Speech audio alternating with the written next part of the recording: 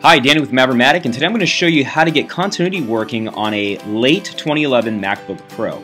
So the first thing you want to do is uh, find some screwdrivers. I like the Wiha ones. These are the small little Phillips uh, to open up the case. There's about 10 screws uh, to open the back.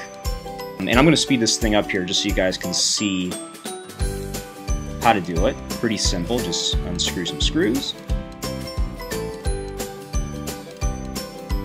Next, once you pop the cover up, you're going to see the Bluetooth module card is right there in the corner, right by the DVD drive. And carefully pop off these little uh, connectors. Like I said, there's three right here in the corner. Just be gentle. Then you're going to pop off this other antenna, which is right towards the middle. This part gets a little interesting because you have these little cables that are, are kind of connected like with a little holder. So what you want to do is remove the screw to the holder so you can pop it out so you can jiggle it a little bit. So there's two screws and you'll see here we pop it right out.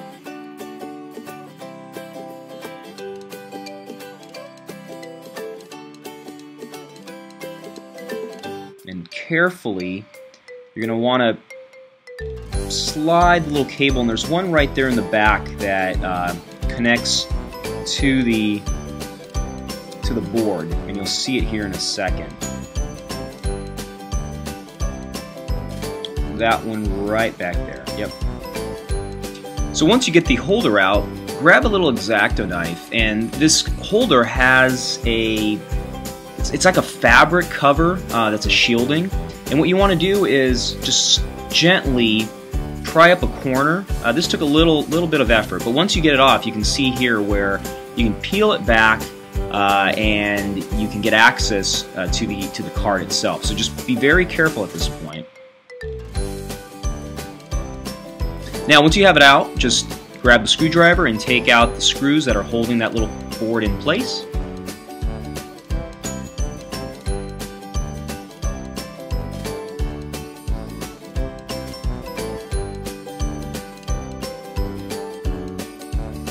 The Bluetooth module that you remove is going to have a model number of 607-7291. You're going to want to replace that with one that has Bluetooth Low Energy 4.0, so it's compatible. This is the one that I found off eBay. It was taken from a later MacBook Pro and has a marking of 607-8962. So putting it back together is quite easy. It just snaps back in and you just do the reverse process.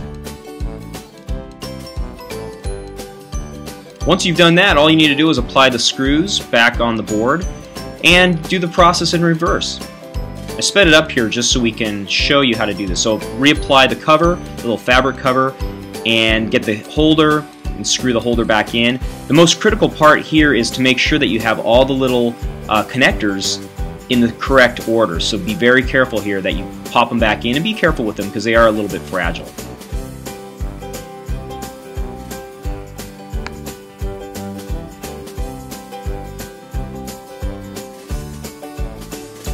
This is also a good time to clean the inside of your MacBook. There might be some dust and little fiber remnants. Uh, it's nice to kind of clean it up right now before you apply the cover. When you're ready to apply the cover, there's a little trick to this. You just basically place it on and towards the middle, you give it a nice little pop and you'll feel the center portion of it. There's a little, there's like these little clamps that actually uh, kind of spring and, and, and attach.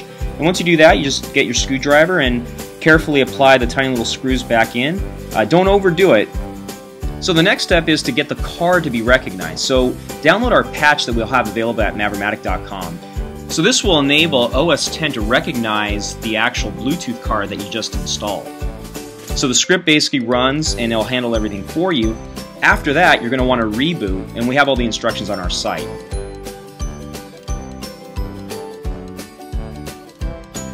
Next, you're going to want to open up your system preferences and you should see the magical enable handoff. Right there says allow handoff between Mac and your iCloud devices. That should be checked. Now after you do that, you're going to want to sign out and back into iCloud to re-enable everything. That usually is required to give a nice little kickstart. Couple more steps and you're all done. So now go under settings and general and handoff and suggested apps. You should see handoff in my app should automatically be enabled as well. And then you should see Safari automatically show up down there. I'm in Safari on my computer, and I can log in and bingo bango, there it is. It works. If you found this video useful, please support Mavromatic by subscribing to our YouTube channel.